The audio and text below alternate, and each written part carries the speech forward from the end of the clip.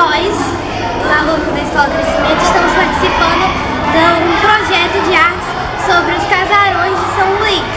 Primeiramente, a gente falou é, um pouco da praia, tecnicamente, e nossa prova foi fazer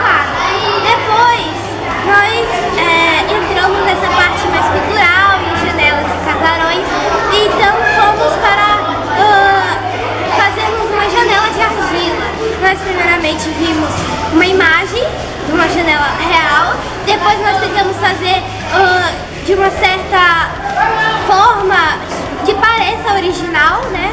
Para que, para que nós podemos